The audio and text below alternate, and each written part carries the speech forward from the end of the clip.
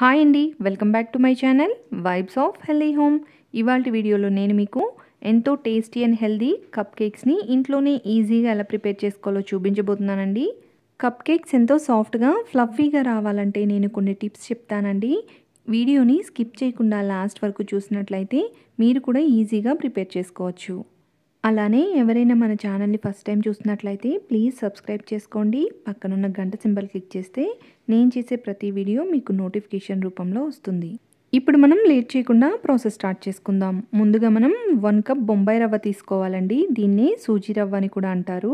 అలానే half cup పెరుగు తీసుకోవాలండి. రెండు ఇలాచి ఇలాచి వద్దనుకుంటే ఏదైనా ఎసెన్స్ని కూడా తీసుకోవచ్చు. హాఫ్ కప్ పాలు బేకింగ్ పౌడర్ పావు కప్పు నెయ్యి ఒక హాఫ్ కప్ బెల్లం తురుముని తీసుకోవాలి. మనం అన్నింటినీ కూడా ఏ కప్తో అయితే బొంబాయి రవ్వ తీసుకున్నామో అదే కప్తో మెజర్మెంట్ తీసుకోవాలండి. ఇప్పుడు మనం ముందుగా బొంబాయి రవ్వను తీసుకోవాలండి. దీన్ని మనం ఒక మిక్సీ జార్లో వేసుకొని ఒక రెండు నిమిషాల పాటు కొద్దిగా మెత్తగా అయ్యే వరకు గ్రైండ్ చేసుకోవాలి. నేను ఇలాచీని కూడా ఈ బొంబాయి రవ్వలోనే వేసి మెత్తగా గ్రైండ్ చేసుకుంటున్నానండి. ఒకవేళ మీరు ఇలాచీని స్కిప్ చేసినట్లయితే ఏదైనా ఎసెన్స్ని తర్వాత యాడ్ చేసుకోవచ్చు. కదండి. ఈ విధంగా బొంబాయి రవ్వ కొంచెం మెత్తగా అయ్యే వరకు గ్రైండ్ చేసుకోవాలి. ఇప్పుడు మనం దీనిలో ముందుగా తీసుకున్న హాఫ్ కప్ పెరుగునే యాడ్ చేసుకోవాలి. ఇప్పుడు హాఫ్ కప్ బెల్లం తురుము ఒక పావు కప్పు నెయ్యిని కానీ లేకపోతే సన్ఫ్లవర్ ఆయిల్ని కానీ యాడ్ చేసుకోవాలి. వీటితో పాటుగా ఒక చిటికెడు సాల్ట్ని కూడా యాడ్ చేసుకోవాలండి.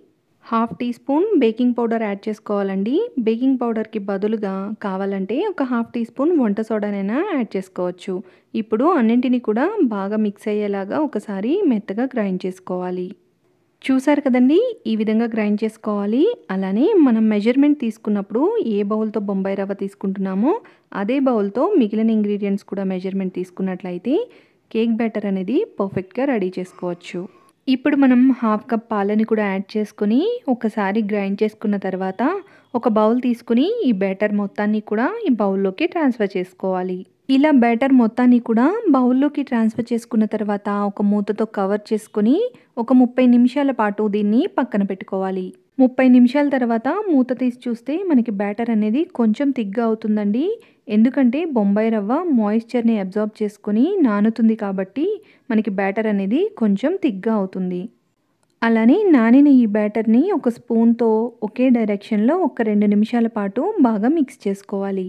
మీరు ఇలాచీని స్కిప్ చేసినట్లయితే ఎసెన్స్ని ఇలా మిక్స్ చేసుకున్నప్పుడే యాడ్ చేసుకోవచ్చండి. అలానే నేను ఇక్కడ కిస్మిస్ని కూడా యాడ్ చేస్తున్నాను. ఇది ఆప్షనల్ అండి. కావాలంటే యాడ్ చేసుకోవచ్చు లేకపోతే స్కిప్ చేయొచ్చు. వీటికి బదులుగా కావాలంటే టూటీ ఫ్రూటీని కూడా యాడ్ చేసుకోవచ్చు.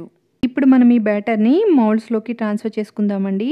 నా దగ్గర చిన్న చిన్న బౌల్స్ ఉన్నాయండి. ఈ బౌల్స్ని తీసుకున్నాను.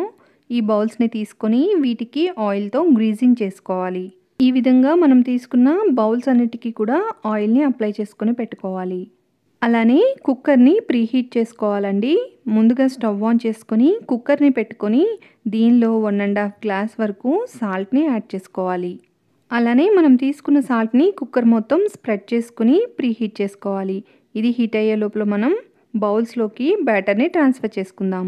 అలానే మనం ముందుగా ఆయిల్తో గ్రీజ్ చేసి పెట్టుకున్న ఈ బౌల్స్లో మైదా పిండి వేసుకొని డస్టింగ్ చేసుకోవాలండి. మైదా పిండి వేసిన తర్వాత బౌల్ని ఈ విధంగా ట్యాప్ చేసుకుంటూ మైదా పిండిని బౌల్ మొత్తం స్ప్రెడ్ చేసుకోవాలి. ఇలా స్ప్రెడ్ చేసుకున్న తర్వాత మిగిలిన మైదా పిండిని పక్కకి తీసేసుకోవాలి. ఇలా మనం తీసుకున్న బౌల్స్ అన్నిటినీ కూడా మైదా పిండి స్ప్రెడ్ చేసుకుని పక్కన పెట్టుకోవాలి. ఇప్పుడు కేక్ బ్యాటర్ని మనం బౌల్స్లోకి ట్రాన్స్ఫర్ చేసుకుందామండి. అలానే కేక్ బ్యాటర్ని బౌల్స్లోకి ట్రాన్స్ఫర్ చేసుకున్నప్పుడు ఫుల్గా వేసుకోకూడదండి. బౌల్కి కొంచెం తక్కువగా వేసుకోవాలి.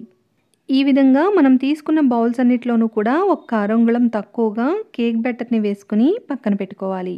అలానే నేను ఈ కప్ కేక్స్లో కొద్దిగా బాదం అలానే జీడిపప్పు పలుకుల్ని కూడా యాడ్ చేసుకుంటున్నానండి. ఇప్పుడు కుక్కర్ హీట్ అయిన తర్వాత దీనిలో ఒక బౌల్ని కానీ లేకపోతే ఒక స్టాండ్ కానీ పెట్టుకోవాలి. ఇప్పుడు కుక్కర్కి సరిపడా ఒక అల్యూమినియం ప్లేట్ కానీ ట్రే కానీ తీసుకుని ఈ బౌల్ మీద పెట్టుకోవాలి. అలానే మనం ముందుగా కేక్ బ్యాటర్ వేసుకుని రెడీ చేసి పెట్టుకున్న బౌల్స్ని ఈ ట్రేలో పెట్టుకోవాలి. ఇలా బౌల్స్ని అడ్జస్ట్ చేసుకున్న తర్వాత ఈ కుక్కర్ పైన ఒక మూతతో కవర్ చేసుకొని లో ఫ్లేమ్లో ముప్పై నుంచి నలభై నిమిషాల పాటు మనం ఈ కప్ కేక్స్ని బేక్ చేసుకోవాలి. ఒక హాఫ్ అన్ అవర్ తర్వాత మూత తీసి చూసి మనం కప్ కేక్స్ని ఒక టూత్ పిక్తో కానీ లేకపోతే చాకుతో కానీ ఈ విధంగా గుచ్చి చూసినట్లయితే తడి అనేది లేకుండా ఉన్నట్లయితే మనకి కప్ కేక్స్ అనేవి రెడీ అయిపోయినట్లేనండి. ఒకవేళ కొంచెం తడిగా ఉన్నట్లయితే ఇంకొక పది నిమిషాల పాటు వీటిని మూత పెట్టుకొని బేక్ చేసుకోవాలి. కప్ కేక్స్ రెడీ అయిపోయిన తర్వాత మనం వీటిని జాగ్రత్తగా తీసుకుని పక్కన పెట్టుకొని పూర్తిగా చల్లారనివ్వాలండి. అలానే ఇదే విధంగా మిగిలిన బౌల్స్ని కూడా ఈ ట్రేలో అడ్జస్ట్ చేసుకుని ప్లేట్తో కవర్ చేసుకున్న తర్వాత లో ఫ్లేమ్లో ముప్పై నుంచి నలభై నిమిషాల పాటు బేక్ చేసుకోవాలి. చూసారు కదండి మన కప్ కేక్స్ చక్కగా రెడీ అయిపోయాయి. ఇప్పుడు మనం ఇవి పూర్తిగా చల్లారిన తర్వాత ఈ విధంగా చేతిలో బౌల్ని పెట్టుకొని మెల్లగా ట్యాప్ చేసినట్లయితే ఈ విధంగా ఈజీగా కప్ కేక్స్ అనేవి బయటకి వచ్చేస్తాయి.